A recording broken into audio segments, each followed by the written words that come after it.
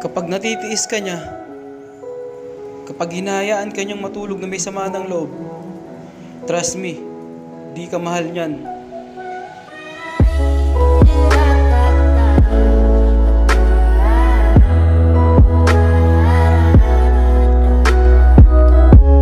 Forty right, right. Bitches change, yeah, I like.